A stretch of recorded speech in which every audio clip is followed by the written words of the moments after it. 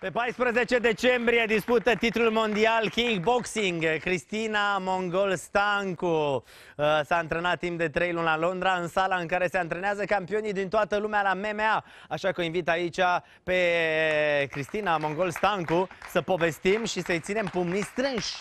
Makes me that much stronger. Makes me work a little bit harder. Makes me that much wiser. Ce faci, campionă? Finally, Ți-ai luat tricou cu Londra? Bineînțeles. Pentru că acolo ai stat în ultimele 3 luni, nu? Da. Te rog exact. frumos să luăm un loc uh, pe Mulțumesc. canapea. Acolo te-ai pregătit în ultimele trei luni pentru un meci care e foarte important pe 14 decembrie la, La Timișoara. Da. Mai e puțin. Mai e foarte puțin, asta Vineri. e săptămâna meciului. Cea mai importantă, seara am aterizat. Da. Târziu, astăzi am venit la tine așa ca să împorți ca de obicei uh, Noroc mult că ținem succes. pumnii strânși, Doamne, ajută. ajută. Și spune cum a fost la Londra? A fost foarte bine, a fost, uh, este o etapă, un, uh, câteva trepte mai sus.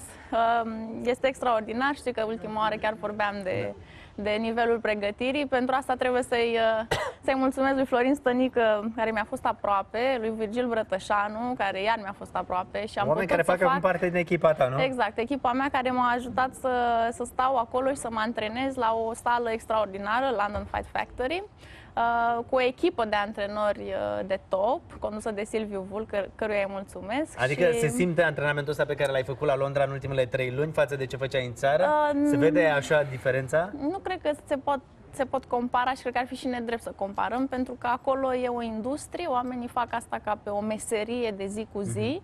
Sunt oameni care au lucrat uh, pe tot mapamondul făcând această meserie de antrenorat și uh, știu exact ce au de făcut, când au de făcut, cum au de făcut. Și atunci uh, nu poți compara asta, e, asta, e- ăsta e sentimentul. Trei luni ai stat acolo. Aproape trei luni, da. A fost greu, familia mea este eroină pentru că ei nici nu m-au văzut, mă văd acum la televizor și se bucură. Dai seama că acum plâng în fața televizorului și Sunt uite, sigură mama, că da, sunt Las că a sigură venit, că e da. bine, e sănătoasă, e frumoasă, uite bă ce bine arată. Noroc cu tine, știi că altfel da.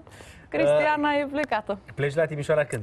Uh, Miercuri plecăm la Timișoara, joi avem uh, cântarul și apoi uh, vineri uh, va începe Cu cine ai Show-ul. meci de data asta? Uh, De data asta, meciul este un meci uh, foarte important, ca și cel din mai, dar și mai important de data asta, pentru că disputăm titlul mondial în Așa. uh, cea mai importantă și cea mai valoroasă organizație de kickboxing din lume. E și mama acolo pe TV.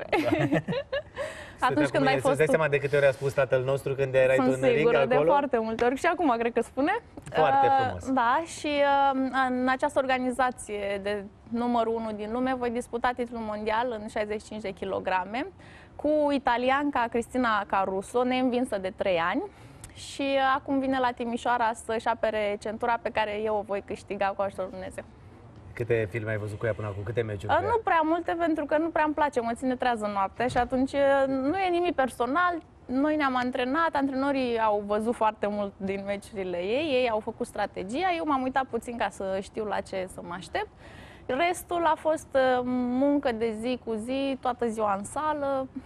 Și dacă o să non-stop. câștigi meciul ăsta, ce înseamnă?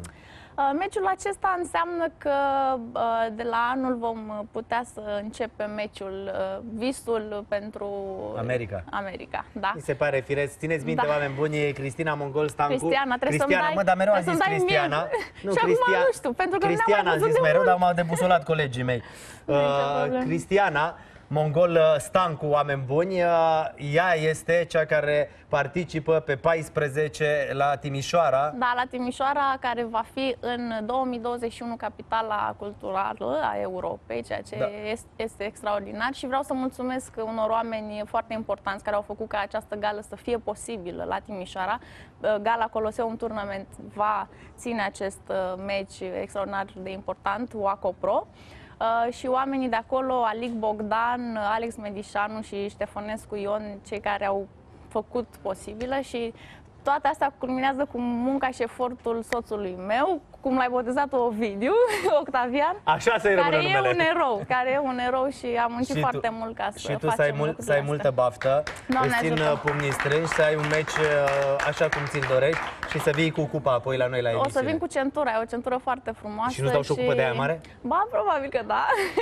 și vin cu ele la tine să, Perfect. fiecare Te dată. așteptăm cu mare Doamne drag ajută. și îți mulțumim mult de tot. Mulțumesc, Multă mulțumesc. baftă pe 14 Mulțumesc. decembrie. Oameni Doamne buni, până ajută. atunci puteți să o căutați pe Facebook Cristiana Mongol Stancu și după ce o căutați pe Facebook puteți să-i dați un like și să o susțineți pentru meciul de vineri. Mulțumesc.